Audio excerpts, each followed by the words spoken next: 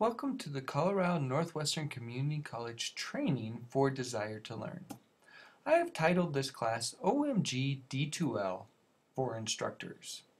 Before we begin, I want to pay homage to an artist I have always admired, Pablo Picasso.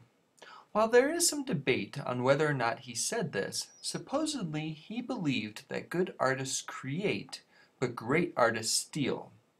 The true meaning of this quote aside, I want to give some thanks to two schools in our system, Arapahoe Community College and the Community College of Aurora. With huge departments dedicated to D2L, these schools have already devised training materials for the system. So as you will see throughout this tutorial, I have borrowed heavily from their materials, but adapted them to meet the needs of our college. Rest assured that all the tools we cover in this presentation exist in our system as well.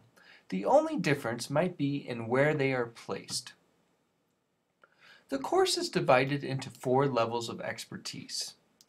Each level consists of modules, assignments, and an assessment. If you choose to attend a live face-to-face -face training, we will work through each module and assignment together. However, you can also choose to work through these modules and assignments on your own. At the end of each training, there will be an assessment, often in the form of a quiz or activity that you must perform.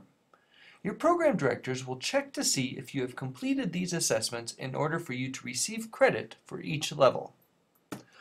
So let's get started on level 1.